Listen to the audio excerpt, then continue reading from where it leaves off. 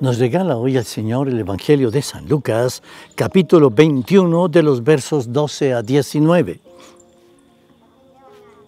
En aquel tiempo, Jesús dijo a sus discípulos, los perseguirán y los apresarán, los llevarán a los tribunales y a la cárcel, y los harán comparecer ante reyes y gobernantes por causa mía.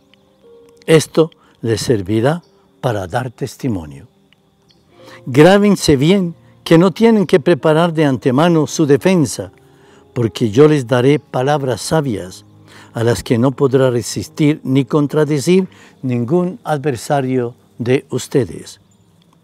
Los traicionarán hasta sus padres y hermanos, sus parientes y amigos. Matarán a algunos de ustedes y todos los odiarán por causa mía. Sin embargo, ni un cabello de su cabeza perecerá. Si se mantienen firmes, conseguirán la vida. Palabra del Señor, gloria a ti, Señor Jesús.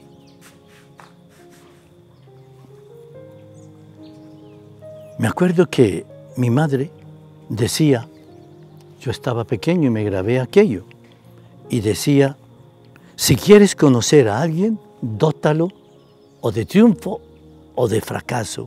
Y ahí lo conoces por sus reacciones, porque ahí sale su talante, su talante íntimo.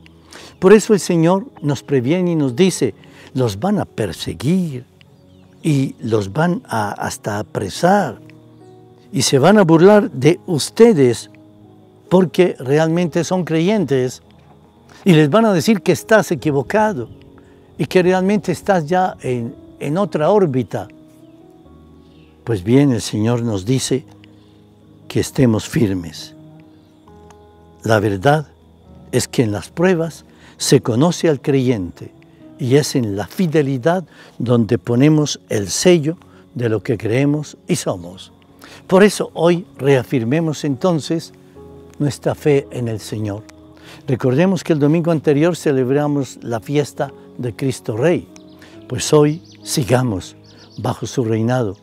Hoy digámosle al Señor que en verdad Él es nuestro Rey, nuestro Señor, que en Él tenemos puesta toda nuestra vida, que le seguiremos hasta el último suspiro de la vida, que cada latido de nuestro corazón es un acto de fe, de esperanza y de amor a Él y de amor a nuestros hermanos como Él quiere que vivamos.